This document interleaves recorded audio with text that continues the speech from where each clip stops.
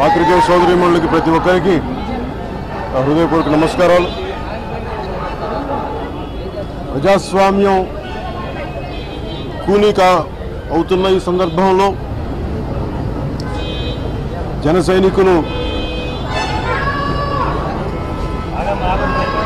అన్యాయంగా కేసులు పెట్టి జైలులో జైలులో పెట్టి బైండింగ్ కేసులు పెట్టి ఇబ్బంది పెడుతున్న సమయంలో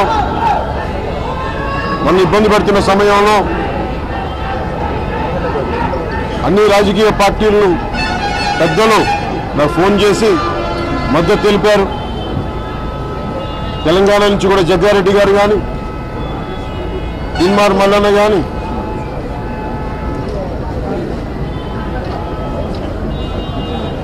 సిపిఐ రామకృష్ణ గారు కానీ అదే క్రమంలో పెద్దలు మాజీ ముఖ్యమంత్రి ప్రస్తుత ప్రతిపక్ష నాయకులు వారు నాకు సంఘీభావం తెలియజేయడానికి ఇక్కడికి వచ్చినందుకు మనస్ఫూర్తిగా నారా చంద్రబాబు నాయుడు గారికి మనస్ఫూర్తిగా నా కృతజ్ఞతలు తెలియజేస్తున్నాను మాట్లాడుకున్న దాంట్లో ప్రజాస్వామ్యం బతకాలంటే పొలిటికల్ పార్టీస్ ఉండాలి.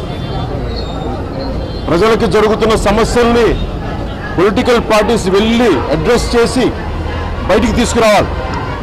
అసలు అలాంటి గొంతే నొక్కేస్తానంటే పొలిటికల్ పార్టీస్ నడిపే వ్యక్తుల్నే నలిపేస్తామంటే ఎట్లా? దీనిని ఒకటే విధంగా చూస్తున్నాం. అన్ని పొలిటికల్ పార్టీస్ ఇది కేవలం ఒక తెలుగుదేశంకో జనసేనకో వచ్చిందని కాదు ఇంక్లూడింగ్ మా సొంత మిత్రపక్షమైన బీజేపీకి కూడా నాయకులకు కూడా అన్యాయంగా కేసులు పెట్టారు. ఇదే వ్యక్తి ముఖ్యమంత్రి ఢిల్లీ పోయి వారికి బాగానే తిరుపతి నుంచి లడ్లన్నీ ఇచ్చి ఇక్కడ బీజేపీ నాయకులను అన్యాయంగా ఇరికిస్తారు. కత్తులతో కడుపులు పేరులు బయటికి తీస్తారు.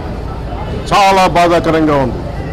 ఇలాంటి పరిస్థితుల్లో అన్ని పార్టీలు సిపిఐ కానీ సిపిఎం కానీ బీజేపీ కానీ తెలుగుదేశం కానీ మేము కానీ ఎవరైనా కానీ ప్రజా సంఘాలు కానీ ముక్త కంఠంతో ప్రజాస్వామ్యాన్ని బతికించాల్సిన అవసరం ఉంది.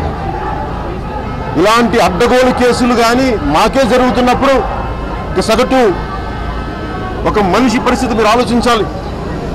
అందుకని పెద్దలు మాట్లాడుతూ ఉంటే ఒకటే నిర్ణయించుకున్నాం. ఇది భవిష్యత్తులో ఇలాంటివి జరగకుండా ఉండాలంటే ఏం చేయాలి? ప్రజలకి భరోసా ఇలా ఇవ్వాలి? వ్యాపారవేత్తలకు ఎలాంటి భరోసా ఇవ్వాలి? అకారణంగా ఆస్తులు దోచేసుకుంటా ఉన్నారు. వీటి మీద ఎలా చేయాలి అని చెప్పి మాట్లాడుకుంటూ అవసరమైతే పదిసార్లు మాట్లాడుకుంటాం. అందరినీ కలుపుకెళ్తాం. ఇది ఎన్నికల కంటే కూడా ఎన్నికలకు సంబంధించిన అసలు అంశం కాదు ఇది. ప్రజాస్వామ్యాన్ని బతికించాల్సిన సమయం ఇది. అసలు ఎన్నికలు అనేది దృష్టిలో లేదు. ప్రజాస్వామ్యాన్ని బతికితే అప్పుడు కదా ఎన్నికలు. ప్రజాస్వామ్యమే కూలి అవుతా ఉంటే ఇంకా పరిస్థితి ఎక్కడ చెప్పుకుంటాం? అందుకని మనస్ఫూర్తిగా మద్దతు తెలిపేందుకు పెద్దలు నారా చంద్రబాబు నాయుడు గారికి మనస్ఫూర్తిగా నా కృతజ్ఞతలు తెలియజేసుకుంటూ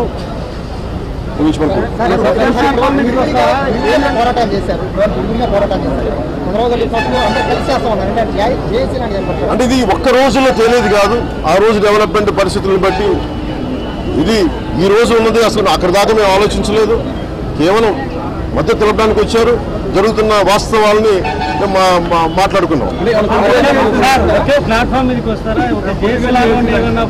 అది ఇంకా అసలు అది ఇప్పుడు రెండు విషయాలు మీరు గుర్తుపెట్టుకోవాలి. నా సుదీర్ఘ రాజకీయ చరిత్రలో